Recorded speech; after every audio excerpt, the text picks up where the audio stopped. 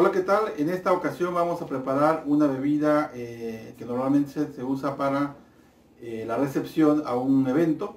Eh, esta bebida se llama Moped y se prepara en un vaso tequilero. Para ello vamos a agregar una onza de tequila.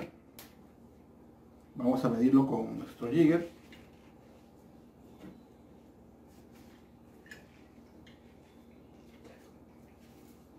Una onza de tequila.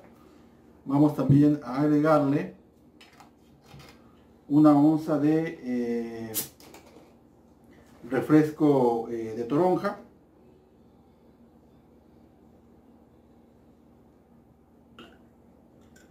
Y finalmente le vamos a agregar un dash de, eh, de granadina.